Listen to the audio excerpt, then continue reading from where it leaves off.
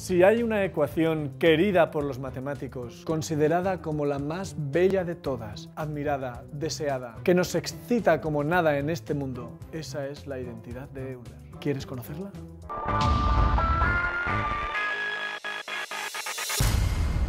Antes de enseñaros la identidad de Euler, voy a presentaros a sus protagonistas. El primero es el número uno, ya lo conocéis. Un humilde numerito a partir del cual podemos generar todos los demás. Con dos unos formamos el 2 y luego el 3 y así todo lo que queráis, por muy grandes que sean. El 1 es la pieza clave de la aritmética. El segundo número es el cero, que pasa desapercibido, al que no se da importancia, pero que es fundamental para las matemáticas. El cero es una pieza clave en la estructura de las matemáticas y de la ciencia. Además, sin el cero, ¿cómo sabemos cuándo acaba la cuenta atrás para lanzar un cohete?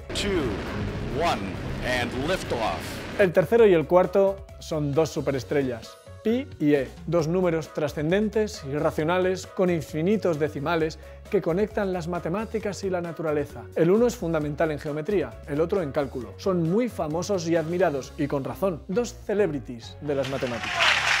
Y el último protagonista es alguien sorprendente, no tan conocido para la mayoría, pero que merece tanta consideración como los demás, porque es una de las piezas fundamentales del álgebra. Se llama I y es la raíz cuadrada de menos 1. Y es la base de lo que se llaman números complejos o imaginarios. Y no es solo primordial en álgebra, sino en ingeniería, por ejemplo algo que parece tan artificial, permite comprender la electricidad o la geometría del universo, así que también es uno de los cinco números más importantes de las matemáticas. Ya tenemos a nuestras estrellas y todas juntas protagonizan la que se conoce como la más bella ecuación del mundo. ¿Te imaginas a los mejores actores y actrices juntos en la misma película? ¿A los mejores guitarristas, cantantes y músicos unidos en el mismo grupo musical? Pues esto es lo que ocurre con 1, 0, pi, i y e en la identidad de Euler, que es esta de aquí.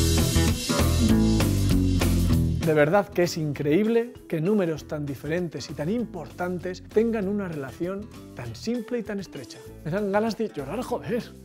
Para demostrar esta identidad hace falta saber un poco de la geometría de los números complejos o imaginarios, pero dejadme que trate de explicarla un poco. El bueno de Euler, que desarrolló mucho las matemáticas, construyó una de las fórmulas más magníficas que existen y que relaciona la función exponencial, lo de elevar números unos a otros, con las funciones trigonométricas, el seno, el coseno, ya tú sabes. Y para eso necesitaba ahí, la raíz cuadrada de menos uno. La fórmula de Euler es un logro increíble, y es esta. Es una pena que no tenga tiempo de desarrollaros todas las mates que hacen que lleguemos hasta allí. Es precioso, de verdad.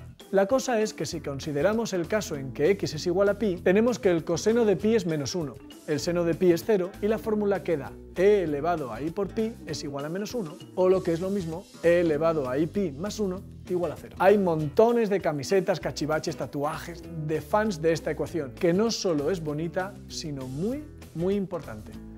¡Qué maravilla, gente! ¡Qué maravilla!